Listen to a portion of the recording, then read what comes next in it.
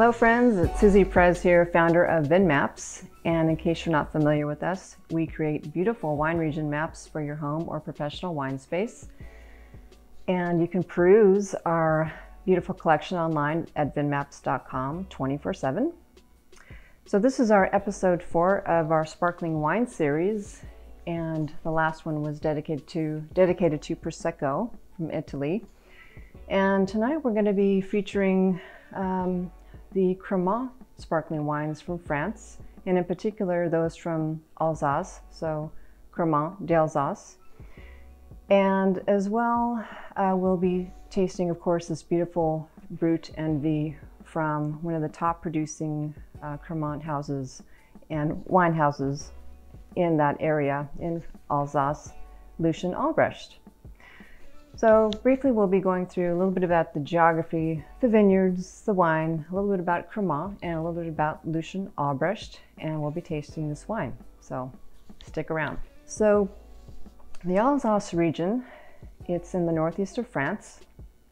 Germany is to the east, borders on the east, and Switzerland borders on the south. And it's about 300 miles east of Paris, depending on where you're at um, in the region.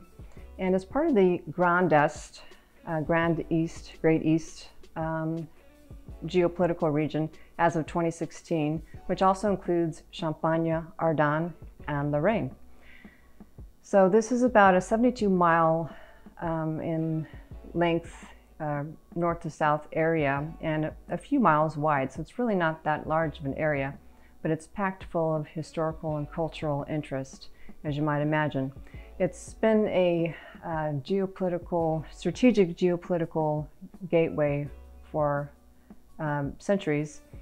And it's belonged to Germany and France at different times. And um, so you're going to find just a lot of cultural art, uh, culinary, wine, um, everything is very interesting in architecture. So, for instance, in Strasbourg, in the north, which is the capital of the Grand Est uh, region. It's a modern city, of course, um, but it has interwoven throughout. Uh, you'll find cobblestone streets. You'll find uh, the beautiful canal. Oh, the main river in Alsace is the Ill. And um, the, the, Rhine, by the way, is about 12 miles to the east, depending where you're at um, along the north south continuum in Alsace. And the, uh, in certain spots, the canals are lined with flowers, and you'll see the um, half timbered um, architectural style there as well. So, centuries old architecture. Um, just a charming place. And in Strasbourg, in, in particular, they have, I think, um, at least 13 museums. And so it's just a fascinating place to visit all on its own. And of course, the wine is there too. Um, further south in the Haute Rhine, you'll find a town called Colmar. And this one is actually straight out of a fairy tale, supposedly. I've not been there and I'd love to go. But um, you'll find the white timbered, half timbered um, architecture, charming cottages. Uh, in the Petite Venice area in particular, you'll find uh, immaculate road buildings that are in pastels of pink, yellow, sky blue. And it's um, actually interesting, I found in my research that um, Disney, of all things, chose Colmar um, as its inspiration site for the movie Beauty and the Beast. So this gives you a sense of the true romantic, beautiful um, town that it is. And then imagine sun dappled vineyards in the distance. Another interesting fact about Colmar is that it's the birthplace of the famous sculptor and artist, artisan, uh, Frederic Auguste Bartholdi, who was responsible for designing and creating the Statue of Liberty. Uh, Colmar is also the um, last known town to be liber liberated during World War II. Uh, now let's get into a little bit more about the vineyards here. The vineyards run north-south along the eastern flank of the Vosges Mountains And uh, with that, there's an orographic effect that happens. And so this actually is a protecting factor. And even though uh, Alsace is at 48.3 degrees latitude north, thereabouts, um, it doesn't receive as much rainfall and is warmer than its neighbor to the uh, west, Champagne, at 48.9 degrees latitude north.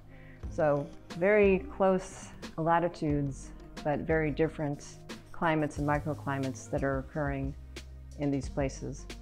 And so this is perfect for the grapes and they, they love the, the long growing season.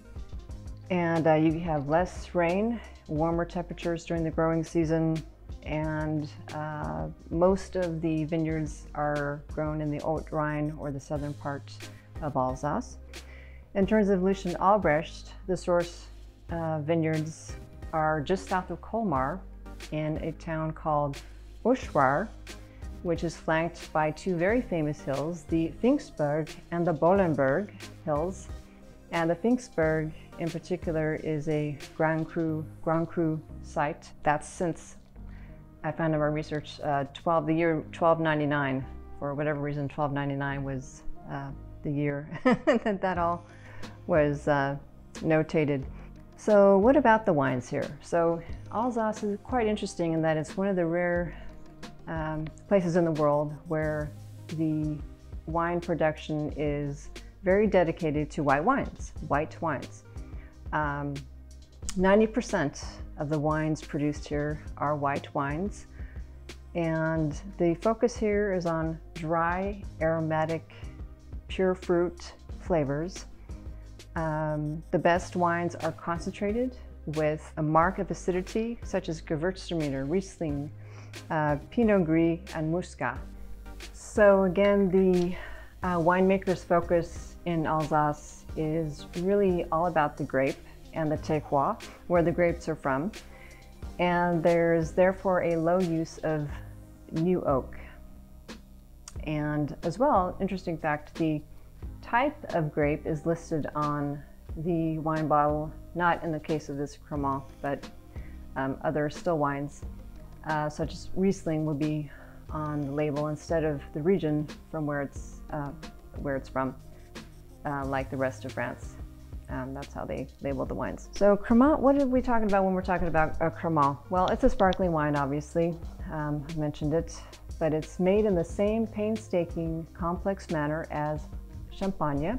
So méthode champenoise, uh, the tr traditional method. So um, secondary fermentation is in the bottle, and all the other intricacies of making sparkling wine, um, the Champagne way, are um, hold true for these Cremants, these Cremant wines. Another interesting thing is that the uh, Cremant wines in Alsace make up a quarter of all the Alsace wines produced, and then in France, these are uh, half, representing half of all of the Cremant from France. So Alsace is a big deal in terms of Cremant. Grapes that they're allowed to use for making Cremant d'Alsace are Pinot Blanc, Pinot Gris, uh, Riesling, Chardonnay, Auxerrois, and Pinot Noir. And also the grapes that go into these wines must be 100% hand harvested and um, they must have a minimum of 12 months aging with nine months of those being on the lees. And then turning to Lucien Albrecht, let's get into this wine some Psalms open these things in five seconds.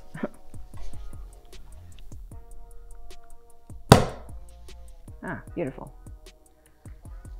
Worth the wait and my reward for all my hard work putting this video together, right?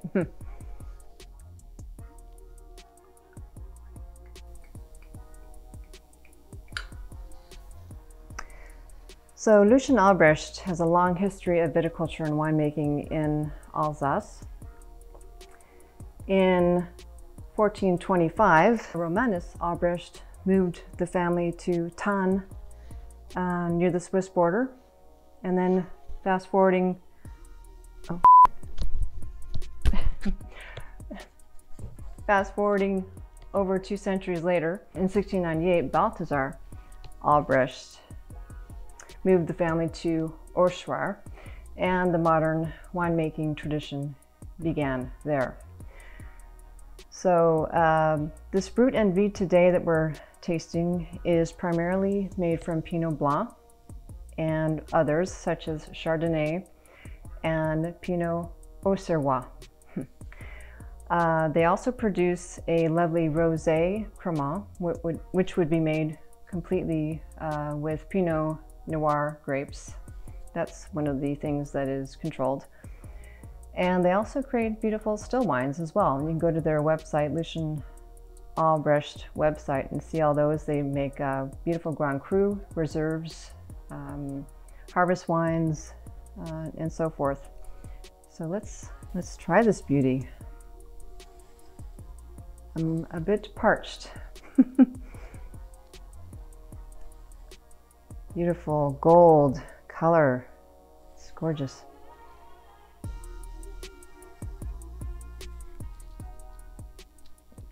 Hmm.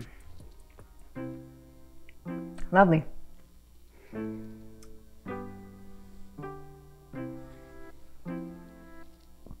Hmm. It goes down quite easy.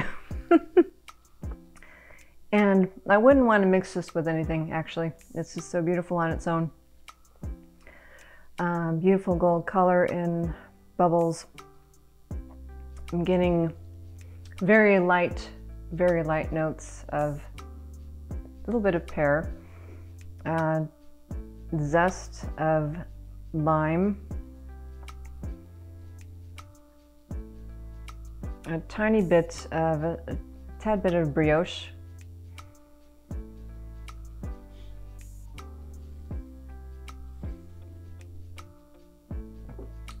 Hmm. It's almost, you can almost taste the countryside with this. There's almost an herbal note to it. It's just lovely. And this, my friends, was about $20 versus what you could pay for a champagne. And I'm no, no, no nothing against the champagne. They're lovely wines, but uh, when you just want something that's easy to purchase and easy on the wallet, uh, these beautiful Cremant wines are a nice alternative. Uh, this we did get on wine.com. Our local merchant didn't have it, but we got it really quickly, and that uh, that was not a plug for wine.com. We're not sponsored to say that. Um, we just happened to purchase it from them. But uh, I hope you've enjoyed this episode, this episode four on sparkling wine, uh, featuring the beautiful Cremant d'Alsace wines. And I hope you'll subscribe to our channel. Please subscribe. And next we'll be talking about, next time we'll be talking about the beautiful Sekt sparkling wines from Germany. Stay tuned for that. And um, thanks again for joining me today. Happy New Year. Take good care. And uh, here's to your health. À la.